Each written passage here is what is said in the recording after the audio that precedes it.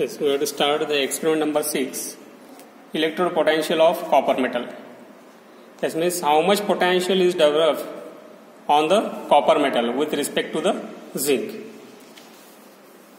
By this experiment, we have to determine the electrode potential of coppers.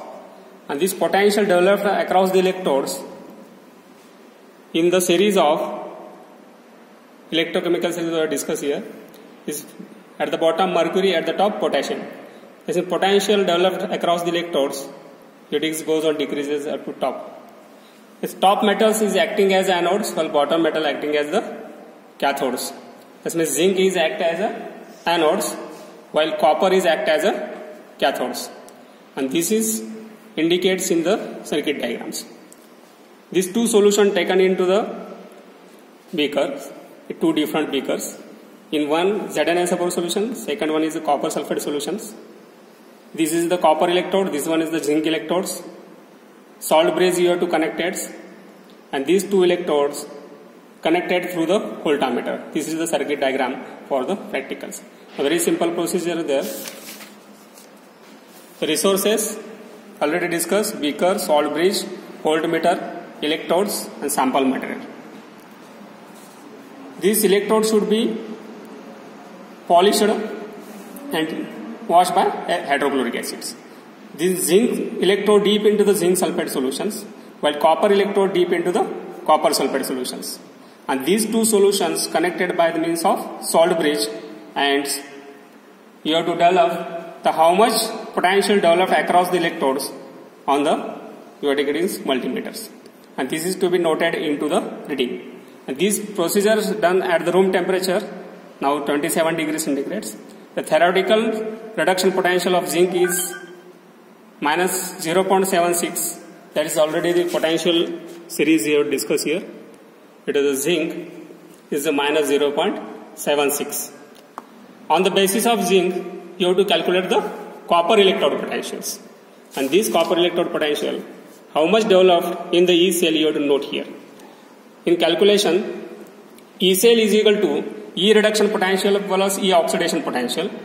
Thus E reduction potential of copper is equal to E cell total cell developed across the here it is multimeter and minus oxidation potential of zinc.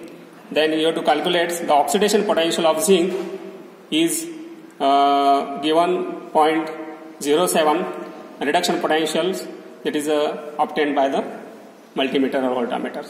And you have to obtain reduction potential of coppers this value put in the result reduction potential of copper is this much and reduction electrode potential of zinc is this much. And this is to be verified by the charts. This is the zinc is minus 0.76 while copper is plus 0.34 and this is the it is electrode potential you have to develop. And finally you note the results. Okay. Then what are the required sources? These are the beakers. Two beakers are there. In one beaker, zinc sulfate solutions is there. In another beaker, copper sulfate solutions are there. These two beakers are connected by means of salt bridge. This is a U-shaped salt bridge in which the KCl solution is filled along with the waters. And deep into the these two solution, this should be deeped into the two electrolytes. So this is the zinc electrodes. The zinc electrodes should be polished and deep into the zinc sulfate solutions. And these copper electrodes deep into the copper sulfate solutions. As like. And they are connected externally by means of voltmeters.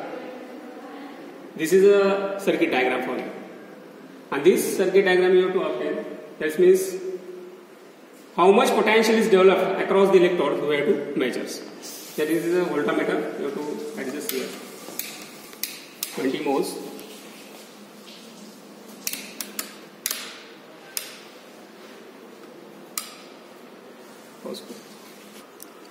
Then the practicals network the repeat this is a zinc sulfate solution in which zinc electrode is should be deep.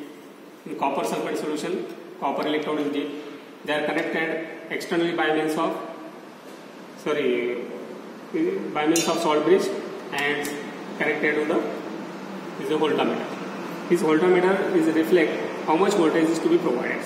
This indicates that this readings voltmeter.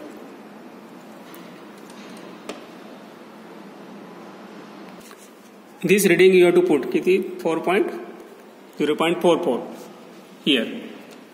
This E reduction potential of copper is 0.44 plus 0.6 is the oxidation potential of zinc. You have to calculate E reduction of copper is 0.32. Put the value in results. Reduction electrode potential is of copper is 0.32 volts and reduction electrode potential of zinc is already you have to get as a reference 0.36 76 and this finally the in electrochemical series zinc is placed at the above than the copper metal that means zinc is at the top or above than the copper. Copper is at the bottom, zinc is at the top. Thus electrode potential of copper is 0.34, electrode potential of zinc is minus 0.76. What is the conclusion?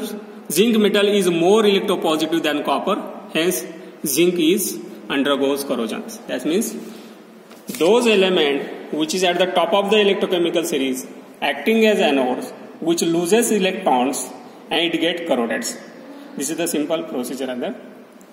जो metal electrochemical सिरीजच्या टॉपला असेल तो electron lose करेल आणि कोरड होईल म्हणजे या केसमध्ये काय झालं झिंक आणि कॉपरच्या केसमध्ये काय झालं झिंक टॉपला आहे म्हणून झिंकने इलेक्ट्रॉन लूज केले. ऑक्सिडेशन झालं. पॉझिटिव्ह चार्ज त्याच्यावर आला. तो ऍक्टिंग एज अॅनोड झाला. म्हणून झिंक करोड झाला. अशा पद्धतीने हा अ करोजन आपलं दिसून आलं. अशा पद्धतीने आपल्याला how much potential develop your to gets finally your to conclude there zinc get corrodes